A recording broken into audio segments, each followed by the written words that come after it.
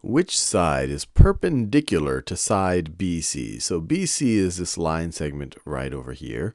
And for another segment to be perpendicular to it, perpendicular just means that the two segments need to intersect at a right angle or at a 90 degree angle. And we see that BC intersects AB at a 90 degree angle. This symbol right over here represents a 90 degree or a right angle. So we just have to find side AB or BA. And that's right over here. Side AB is perpendicular to side BC. Let's do a few more of these. Put the triangles into the correct categories. So this right over here, so let's see, let's think about our categories. Right triangles, so that means it has a 90 degree angle in it. Obtuse triangles, that means it has an angle larger than 90 degree in it, 90 degrees in it. Acute triangles, that means all three angles are less than 90 degrees.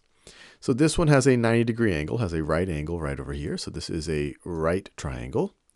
This one right over here, all of these angles are less than 90 degrees, just eyeballing it. So this is going to be an acute, that's going to be an acute triangle. I'll put it under acute triangles right over there.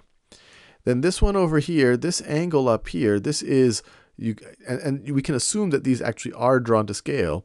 This is more open than a 90 degree angle. This is an obtuse angle right over here. It's going to be more than 90 degrees.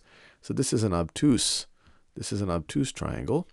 Now this one over here, all of them seem acute. None of them even seem to be a right angle. So I would put this again into acute, acute triangles. This one here clearly has a right angle. It's labeled as such. So we'll throw it right over here. And then this one, this angle right over here is clearly even larger, has a larger measure than a right angle. So this angle right over here is more than 90 degrees. It's going to be an obtuse angle.